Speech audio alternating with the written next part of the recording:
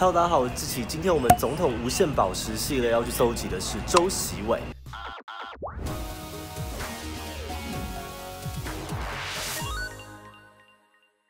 好，Hello，大家，那我们现在已经来到了就是胡哥的办公室了。那接下来我们就要来把大家的问题向胡哥这边提问喽。那胡哥可以先跟我们观众朋友打个招呼吗？嗨，大家好，呃，虎哥，我是周习伟，台语的名字两字就 Say Boy，谢谢。好，那我们马上就请虎哥来接招。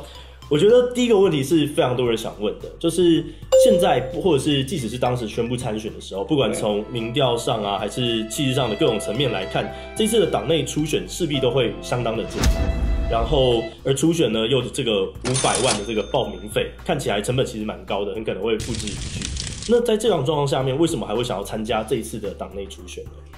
我看选举跟别人不太一样，因为我过去都很顺。嗯。呃，当然，我刚开始选县议员选不上，后来选上省议员，然后三次立法委员，有两次都第一名，嗯，然后后来选上台北县县长，那一一路走过来，其实还是蛮顺的。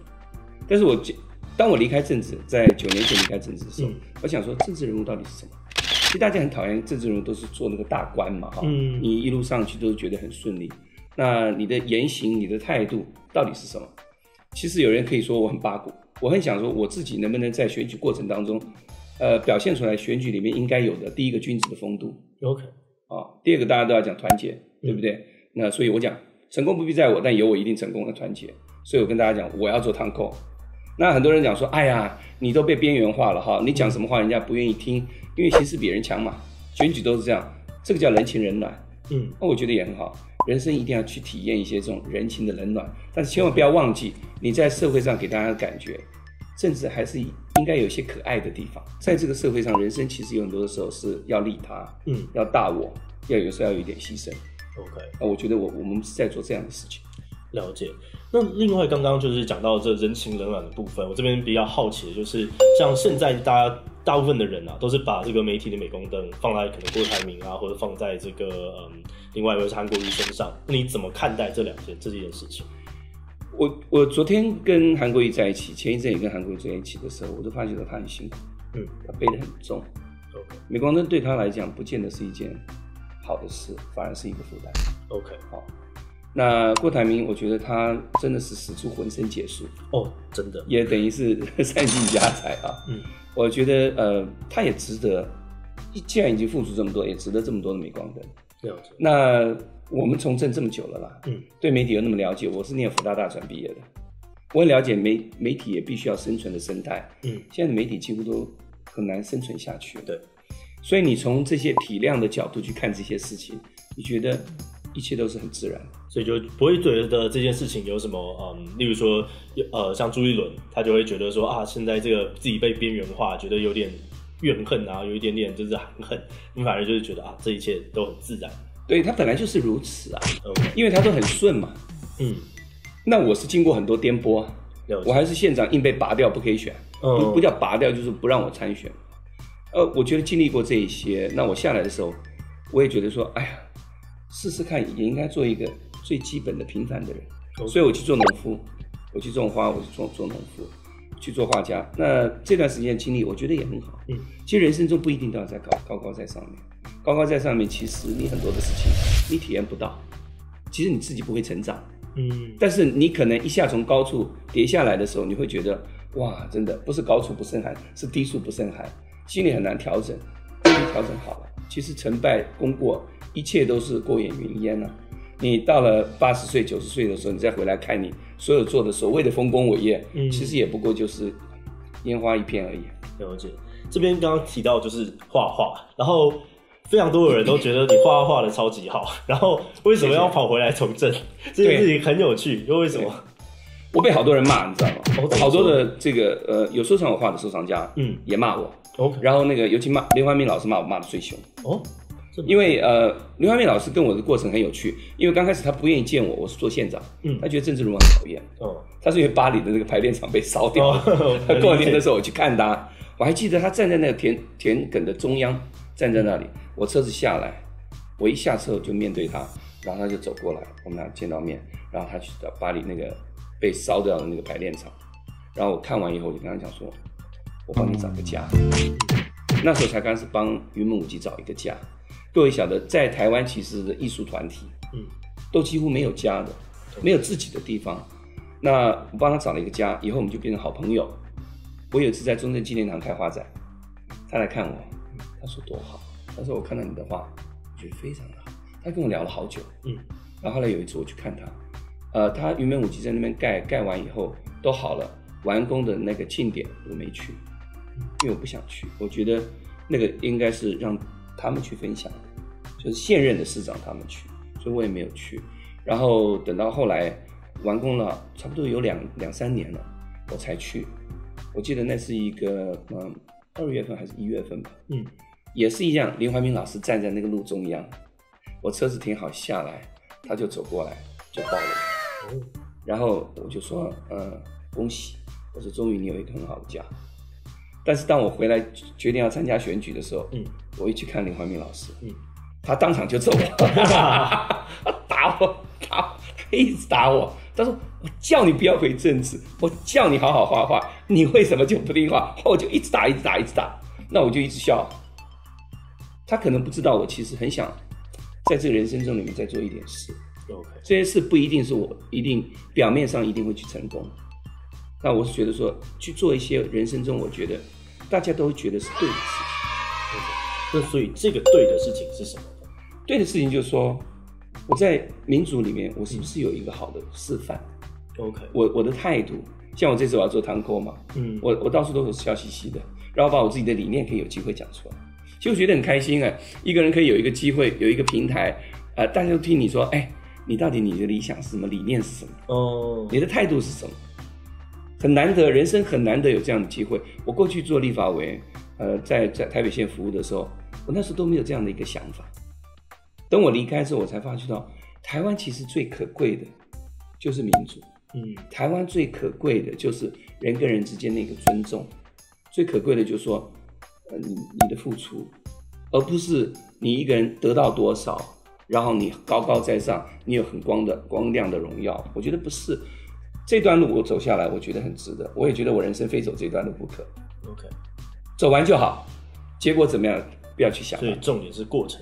对，重点是过程。对，了解。那刚刚讲到民主，这就让我想到，就是昨天嘛，昨天才有那个铁笼公投的这个呃，算是动员吧。然后你，我记得你有过去参加。对对。那这边我觉得蛮蛮有趣的，就是现在他们民呃，就是您认为，我相信你参加这个铁笼公投，就是认为说他们现在民进党就透过了这样子的一个修法，把公投基本上是锁死了。那民进党他们这边自己的表态是讲说，哎，我们今天在呃修这个公投的时候呢，是为了解决掉一些可能上次一二次的时候他们遇到的一些问题，例如说，哎，都已经排排的人太多，然后到最后才还真的投，已经在开票的时候还有人在投票，又或者是可能像是死人联署啊这些的事情。那你假如说这件现在他们民进党修的东西不好的话，那有什么样的方法可以解决前面遇到这些问题，但同时又让这个公投不是被锁死？我觉得可悲的是民进党，OK，可怜的是台湾人。嗯，你看民进党，他这个公投当初他要去创公投的时候，就是说我们待一阵子，我们的立法院、我们的市议会，他觉得不行嘛。嗯，你这个没有办法正确表达人民的心声，所以有个公投。全世界这个公投就是这样而已，这么简单而已。但公投的结果是什么？你一定要服从，因为老百姓一票票投出来。嗯，所以你可以十一月二十四号你去找那个借口，然后不会不会去让公投的结果。变成法律要去实现吗？要去兑现吗？这绝对不对的哈！在任何世界上的民主国家，只要有公投，公投完结果，政府只有去执行，没有任何理由可以可以去辩解的。那你现在讲说这公投怪这个怪那个，其实都错了。那我为什么讲可怜是台湾老百姓呢？民进党其实他现在在在走一些非常可怕的专制复辟的路，因为现在民进党听不没有办法接受人民对他的批评。他完全没办法接受，所以电视台某一个电视台他出来，他要把人家关掉，要把人家罚款做什么，其实都是错的。我讲一个 Trump 的例子，嗯，Trump 跟 CNN 是最对立，对，他跟 CNN 的记者是大骂，那 CNN 记者也是大骂，直接抛推了，狂干他。可是你看美国的政府机关，有哪一个机关对 CNN 有任何的采访？没有，嗯，没，这就叫新闻自由，嗯，新闻机构会被关掉，只有是人民的怒愤怒。人民说：“我非常愤怒，我一定要把你关掉，因为你做了不实的报道，你伤害了某些人，所以才会这样做。”嗯，否则任何的政府机关是不可以去干预到新闻媒体，嗯，甚至新闻媒体报道什么，更何况他要不要去看看三立跟民视是怎么样报道？我觉得这都是有问题的。我台湾的媒体现在已经绝大部分是慢慢被操纵，但被操纵是被财源操纵、金源操纵没有问题。如果被政党操纵，这国家就毁了。所以民进党在做的事情就是说，所有跟我说相反的话，我都不接受。我不但不接受，我还恼羞成怒。其实我们昨天嗯看到那个公投法铁笼化的话，我觉得不是重点。我觉得最重要还是最近的修国安五法，OK，包括国安法。我在这里必须要讲。国安法是我从来没有见过，在中华民国没有见过最独裁专制的白色恐怖。因为国安法里面把两岸的关系变得很很奇怪，大陆就是敌国，你只要跟大陆不管有什么样的沟通交流往来，不要有泄密罪哦，嗯，不要有任何叛国、发动战争的罪哦，这个事实就可以把他抓起来，就可以秘密审讯，就可以判刑，更重要判刑判着重，你知道吗？你没有任何叛国的行为哦，没有泄密的行为，他会把你判成什么？判成是七年以上的有期徒刑，而且还加一个罚款五千万到一亿元的罚款。这个是什么啊？这个是我没有见过，全世界都没有的。我去翻了美国的间谍法跟叛国罪，你知道间谍法跟叛国罪，叛国罪是必须要是跟开战的国家或者已经宣战的国家才可以当做是敌国。有任何这样的行为，真正具体发动战争，这种行为才叫做叛国罪，其他叫间谍罪。最重罚款什么？一万美金，三十万新台币。各位，我们罚到五千万到一亿元，然后人家是五年以上，我们是七年以上。所以我觉得最可怕的，昨天还不是所谓的铁笼公投，最可怕是国安法的白色恐怖。那刚刚这边有讲到，就是两岸之间的关系。那你目前你是怎么看待两岸关系？两岸关系根本不是民进党形容的。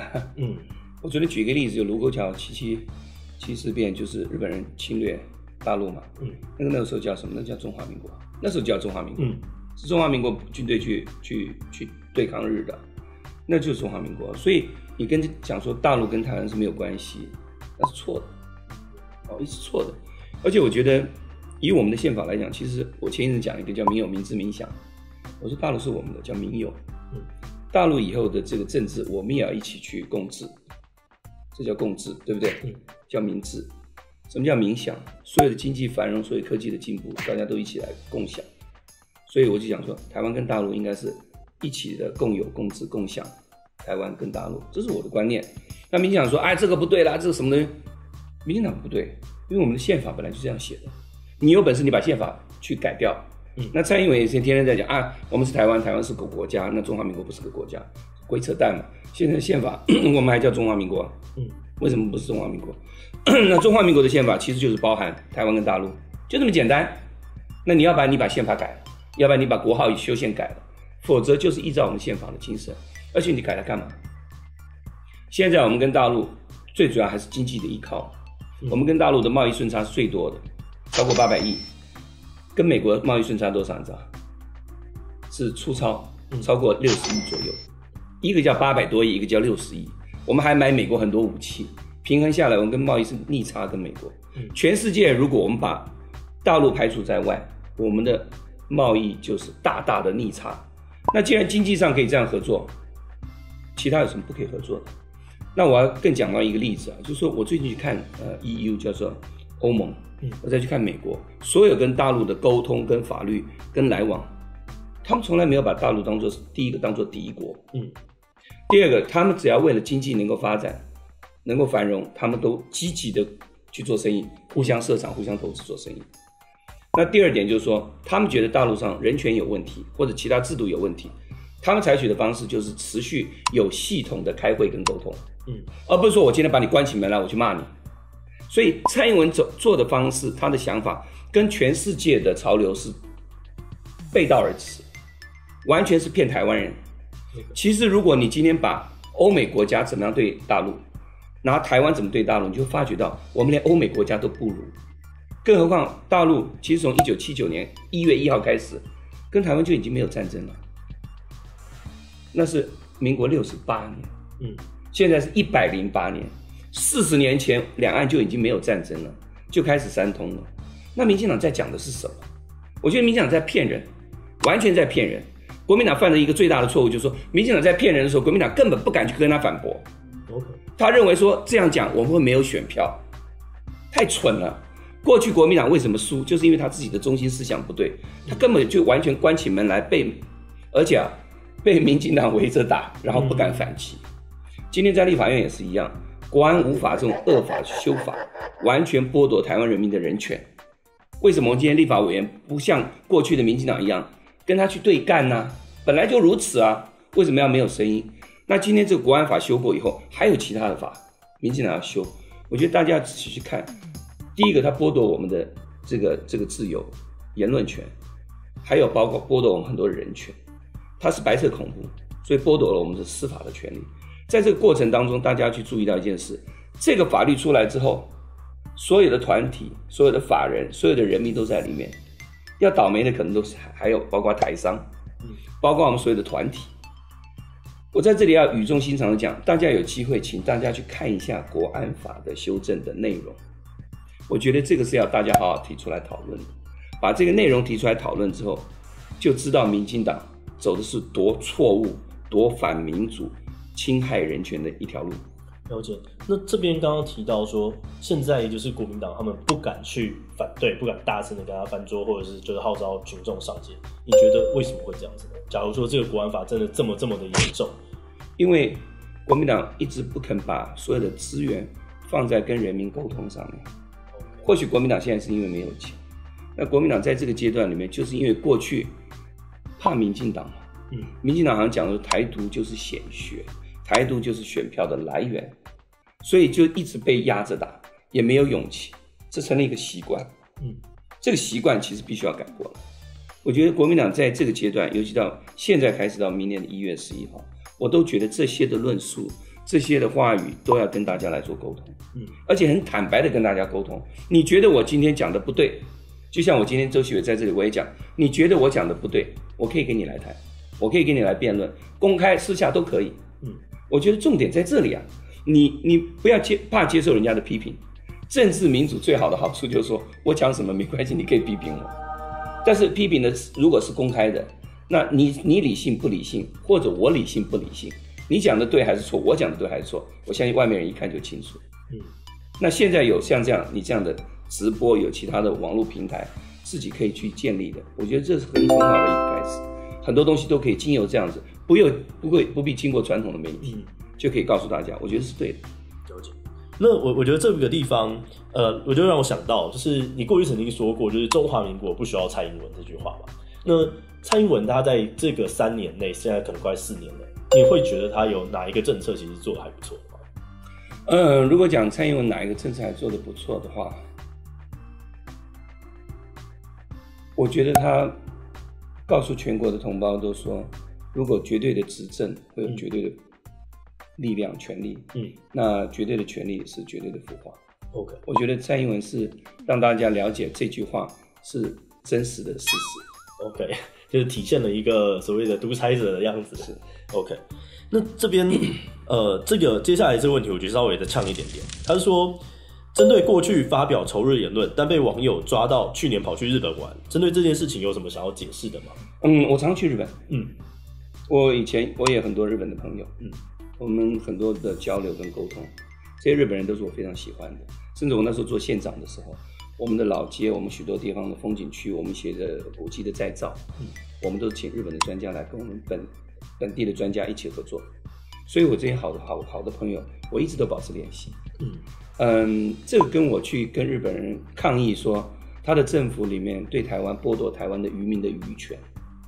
甚至钓鱼台去侵占，变成教科书里面他的国土。嗯，然后慰安妇不肯赔偿，不肯道歉，然后河岸食品要都卖到台湾，我觉得这是完全两码子事。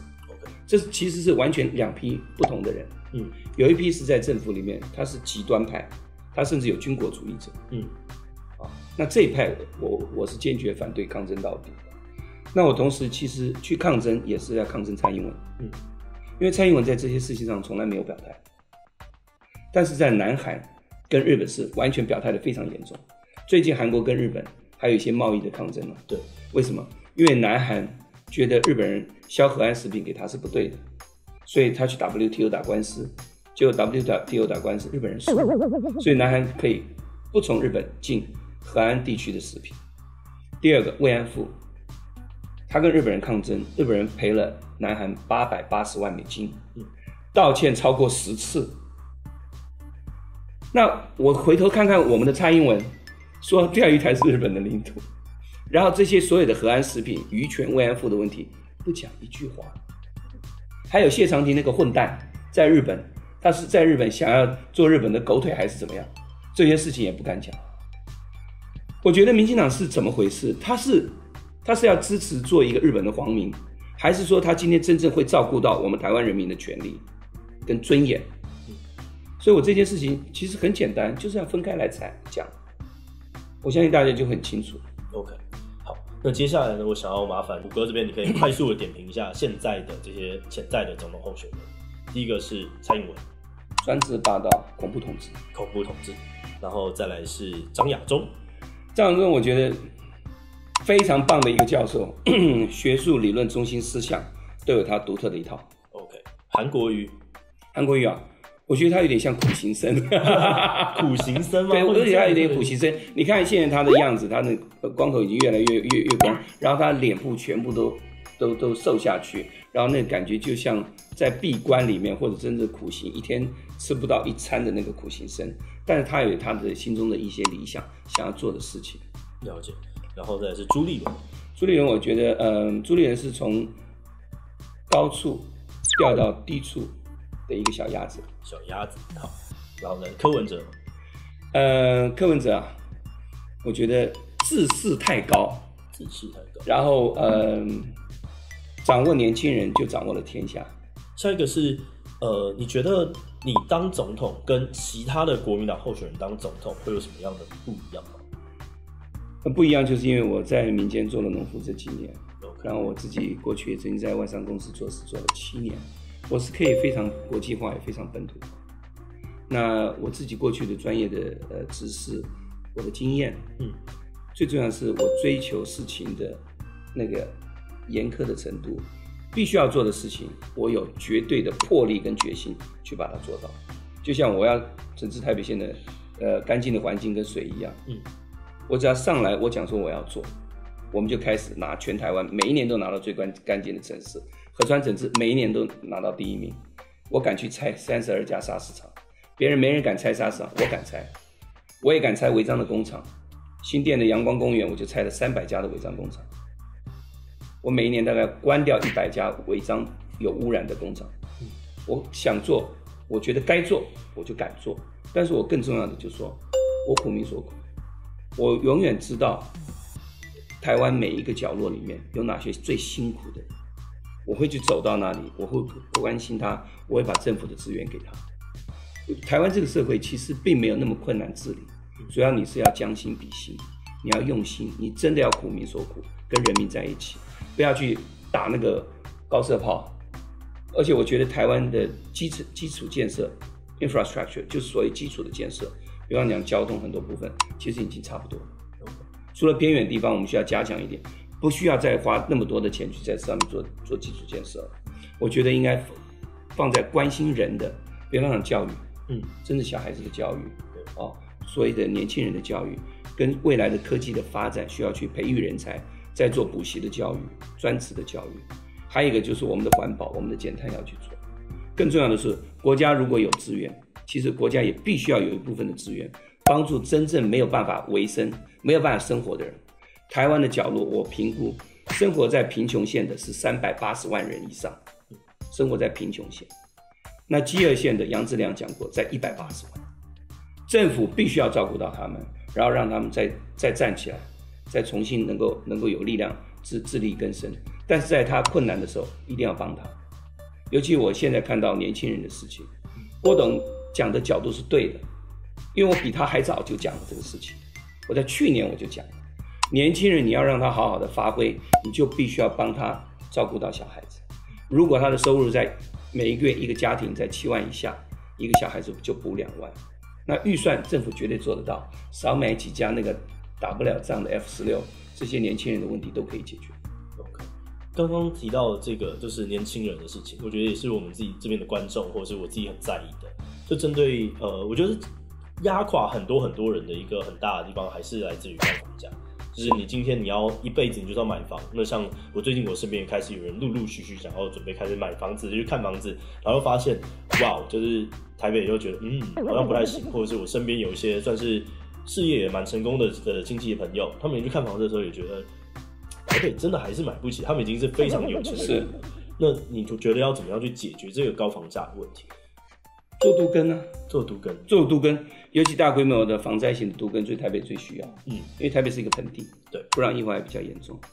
那太多老旧的房子，你只要做都根，都根把楼房能够盖高一点。嗯，那使用的面积，大家都能够使用一个真正安全宜居的环境，我觉得都可以做得到。台北大规模做都根，新北大规模做都根，然后桃园再好好开发，光这三个区域，我相信。供给量大增的时候，嗯，需求量还没有，还是维持原状，房价一定会往下掉。用这种方式，供给跟需求的方式，绝对可以调整房价。然后另外一个，我觉得我们必须要把台北市的政治中心，像我主张，总统府要搬到台中去，不要把所有的经济的压力、工作的提供，通通在台北市，这个负荷太大，不对的，要移开来了。所以新北跟桃园都是一个很好的结合。如果你真正的供给大于需求许多，加上现在有房率大概应该超过百分之八十以上，这种问题一定可以解决。那真的不难，这做两件事就好。嗯，第一个就我讲的大规模都跟房子马上就会增加，增加以后房价往下跌。第二个就是从台北市开始做疏散。嗯，台中现在环境也很好啊，我觉得桃园也很好啊，新竹有些地方我觉得很不错。那高铁把票价降低一点，来回通车，一切问题也可以解决啊。所以我觉得把经济的发展、文化的发展、政治的发展往外移，那其他地方就更容易找到年轻人的工作。嗯，我觉得这边我听听起来的感觉是，它的道理非常的简单，因为我自己其实是学都市计划的，是，所以我也能够理解，不管像是刚刚讲 infrastructure 啊，然后呃政治中心转偏移的这些的这些的问题。可是如果它这么简单，但它现在却没有办法被执行出来。它代表它的执行的复杂度一定有某个程度的高点，让它无法跨过。那这时候你要怎么去说服大家说，我今天上来的时候，这件事情就会 run 下去？我做过县长，嗯，我们的都跟副都新、头前、新店、板桥，嗯，都做得非常成功，嗯。那在那个时候，我已经发觉到，虽然成功，为什么还是这么慢的原因呢？OK，我们政府立了太多的法令，绑住了。你动辄得救，你根本就走不动。只要做一件事就好了，把那些不合时宜的法令、绑手绑脚的法令全部废除掉。你只要废除掉，所有东西就可以自然发展。我跟大家讲说，都跟跟申请建造，只要做一件正面表列的事情，就是说这边你什么都做到了，我就可以给你了。当然你不可以做的，法令早就规定你了，所以你来申请。你什么都可以做到了，然后建筑师的建筑图出来，然后我们给专业的人去审。我们自己只要正面表列，告诉你，你主要如如果符合这些条件，我就让你盖了，我就让你做了，就是那么复杂。在国外就是这样审查的。我们变成一个人治的社会，所以所所有的人都走不通嘛。我们编了很多的法令，让自己可以让所有的申请建造的时间拖长或者做不到。你知道，我们估过以现在的法令跟速度。大台北地区，台北跟新北都跟完毕要上千年，这些通通把它废掉，绝对做得到。那你问我说，周锡伟你能不能做到？我如果今天还是直辖市市长，我绝对会把这些法令直接废掉，经过议会同意就可以了。所以这比较是从大政府的思维转到小政府思维的一个方向，然后再搭配法令的一些结合，这样子吧。你有没有哪一个政策或者哪一个政见，就是假如说你最后有意外的没有当选？那但是你会希望这个执政者或者当选者他能够拿去好好参考的。我觉得这是我们的生活环境一定要改变，嗯，因为大家都在讲到减碳，我们不管减碳，大家都讲到生活上的这个干净、自然、美丽，也没有在乎这些事情。那大家讲说文化应该跟是自然才是我们生活里面最重要的两个元素，嗯，但是我们有没有把这些事情好好做好？我比较在意的是。软的那一面，内涵的那一面。我不是在意那种高楼大厦那种，是声光的这种科技跟未来的科技许多很很炫耀的东西，我觉得不是。人是要最后要回归到自然。那在我们的生活环境里面，唯有自然跟文化，它在我们的生活的周遭，让我们生活很舒服。我觉得人才会快乐，才会健康。从一开始的访谈到现在，我都发现就是胡哥你很在意环保这件事情，是的，在意土地，在意环保。那么你怎么看待现在的能源政策，或者是你觉得这能源政策有没有什么要修改的地方？你想引领的方向？两个字啊，都是啊。OK，第一个，全世界都跟你要求你不能再增加碳排放，你拼命搞那么多火力发电厂干嘛？这跟全世界完全是背道而驰的嘛。第二个就是说，你燃煤里面那个 PM 二点五跟汽车的燃烧的排出来的 PM 二点五，那 superfine particles 超微粒的那个悬浮颗粒，我们吸进去以后就到我们的肺、血管、心脏里面不动，就停在里面，卡在里面了。所以这个是我们一定要去解决的。而且最近的医学报告讲出来，这些最微微小的悬浮颗粒影响最大的是小孩。小孩子他会随着跑以后，还会到他脑，也会影响他的智能的发育。这是非常可怕的一个事实，为什么我们不去改？另外，我又觉得说，台湾四周都环海，为什么不用波浪发电？波浪发电高低差啦、起伏啦、挤压啦，都可以做啊。台湾到处有地热，地热也可以做啊。为什么一定要去装那么多的风力的那个，那个、那个、那个、那个 propeller 去做那些东西？然后，太阳太阳板本来也就有问题啊。我自己也装了太阳能板，我装了五十万，结果发出来的电能做什么？我跟你讲好不好？就开灯或者电风扇，连一台的冷气也发动不了，这是事实。为什么我们大家要去骗别人啊？现在没有错，现在呃太阳能板的科技已经慢慢进步了，那风力发电大家也觉得说真的干净能源可以去做。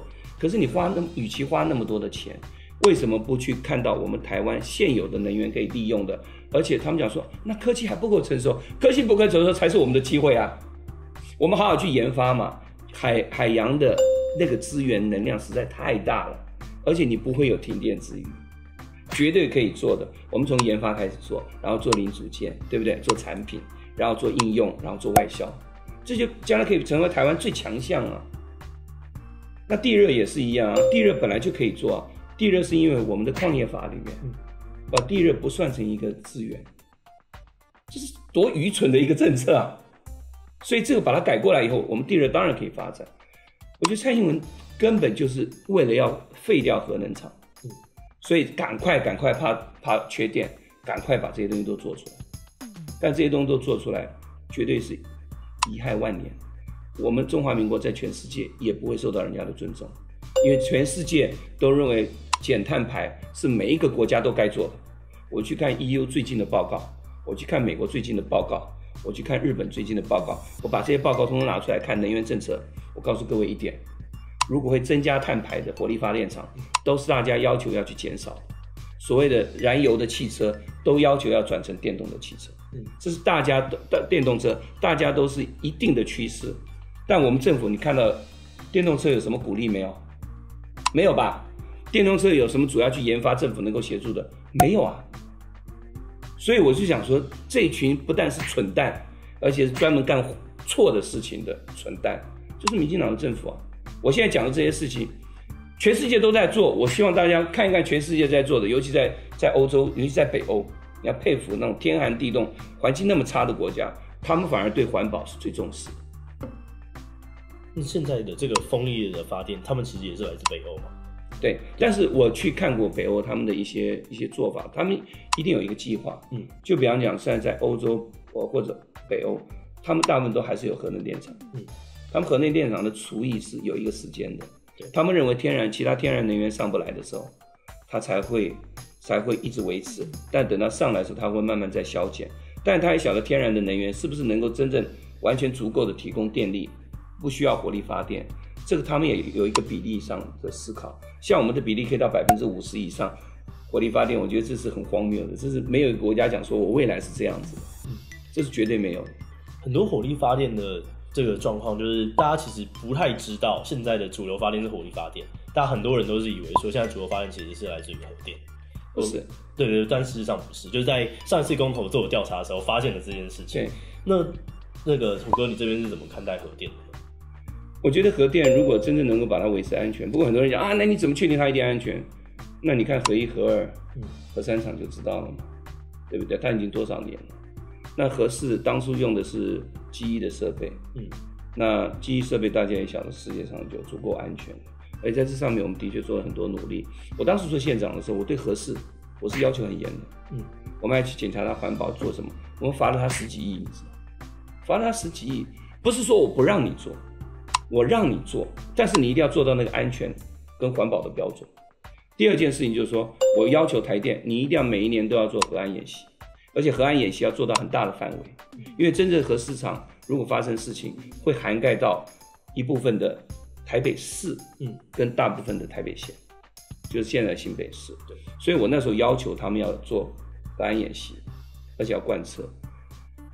核能是世界上每一个国家都在做，因为在这个阶段里面，你还是需要它，它干净，而且它成本太低了，成本低，所以才这个阶段是必须的。所以只是只是看怎么去做一个组合。那至于说一昧的去说我一定要反核。做飞核，在全世界真正科技发达的国家，重视安全的国家，这种观念是错误的。OK，好，最后一个呢，有一个人他问说，请问虎哥有没有什么歌想要对我们观众唱的？他都可以作为一个最后的结尾。我其实今天的声音真的很差，但一定要我唱歌，我就唱一条。我一直很喜欢的英文歌，我就可以可以把它改一改。OK，那改一改，这我就想到那韩国语讲的征服宇宙。哪一首歌？那其实有 Fly Me to the Moon。OK，那我觉得呃这条歌我为什么一直很喜欢？因为很很浪漫。嗯。更重要的，我觉得它是一个一个很很幻想的浪漫了，因为他还提到了这个这个这个火星，你知道吗？嗯。Fly me to the moon。And let me play among the stars。不唱，因为我声音很差，请多包涵。我昨天嘶喊的太多，大概。OK，好。有有机会再唱，但是我觉得唱歌是，你知道，唱歌是所有健康活动里面，包括运动，包括什么，唱歌是最能够让你健康的活动，你知道吗？哦，这我不知道。真的，你不知道？啊这个我不知道。唱歌，各位有机会就唱歌，好听难听有什么关系？自己唱，为自己的健康唱，为自己的心情来唱，我觉得都是好事。OK，好，那我们今天的访问呢，就到这边告一段落。那如果喜欢的话，可以订阅或者按赞我的频道。那接下来我们还会再继续收集其他的总分无限宝石。那我们今天的影片就到这边告一段落，大家拜拜。OK，拜拜。好的，今天这个虎哥访谈没有意外的话呢，应该是总统无限宝石系列里面国民党参选人的最后一支了。看了这么多蓝营政治人物的访谈，我是真心觉得他们真的很不简单。明知道坐在你旁边的人立场可能跟你不太一样，搞不好在听的时候心里面会一直出现不同的声音，但他们还是可以很有自信的侃侃而谈，把自己的理念讲得头头是道。可惜就是我觉得这样的对话模式有时候恐怕还是很难说服不同立场的人吧。或许是他论述的方式比较没有容纳其他立场空间，也可能是我自己的思考方式已经慢慢的定型，所以最后好像还是停留在知悉的阶段而已。不过我自己也觉得说，人到了一定的年纪，大概是二十五岁左右吧，不一定吧。人生步调啊，跟工作圈都会慢慢进入一个比较特定的节奏，思想跟个性也会越来越定型。那更不用说像是蓝啊、绿、白、黄还是橘色的那些政治人物，他们一天到晚的就是经营在自己的幕僚圈、同文层，为了特定的意识形态或者是理念而奔走。要说这样子不好吗？我觉得倒也未必。因为要是政治人物自己心中没有一套坚定的价值观，大概就会像一只没有核心价值的变色龙。不要说民众会对这样的人无所适从，光是他本人每天就要一直毁灭重灌自己的三观，那这大概也是很难受的。有人觉得这代表政治人物都很烂，跟民意脱节，只会硬干自己的想法，强加在大家身上。但我觉得这话可能只说对一半。或许我们可以回到市场机制来理解。与其说他们跟民意脱节，我反而觉得，不管是哪一种意识形态的政治人物，他之所以能够站出来，而且获得部分民众的支持，那就表示他的理念啊、想法，至少还是反映出了某部分民意的心声。那就像是虎哥刚刚讲的，他自己对中国的认同，我觉得真的很屌，因为自己身边的同文层比较少有像他这么强烈的。这份真的是很有趣哦。从很多的研究看来呢，台湾人对中国的认同其实是非常浮动的。有些人就像他一样认同超级强，但也有些人认为哦，卢沟桥事变啊、国共内战这些都跟台湾人无关吧？为什么要把我牵扯进来？那更多的中间选民可能是觉得自己身上有部分的中国文化，但他们对中国的认同程度取决于中共的政治现况以及两岸之间的交流关系。在这之中，最大的症结点呢，就在于大家喜欢现在的民主自由，所以一旦传出像是在教育营啊、社会信用制度啊、一国两制破灭的这种事情呢，甚至中共势力不断的进逼台湾的时候，大家就会变得比较恐惧，然后减少自己对中国的认同。对很多人来说，这样的威胁感是非常深刻的，因为我们就在中国的旁边，而且中共明显有统一我们的企图，所以把欧美国家对中国的态度拿来跟台湾比，其实是有点问题的。而我自己是觉得，作为一个总统级的政治人物，除了为自己所反映的民意发声之外呢，更重要的是，你也要去试着跟不同意识形态的人沟通对话，尽可能的找到大家都能接受的共识。无论如何，我觉得先跨过同文层，直接倾听还是很重要的一个步骤。不管认不认同，至少我们都能够开始理解对方为什么会这样想，然后一起唱歌聊天，哎，好像距离就没有那么远了。好了，那接下来我们的总统无限宝石呢，也还会继续访问其他党派的候选人，那就再请大家拭目以待喽。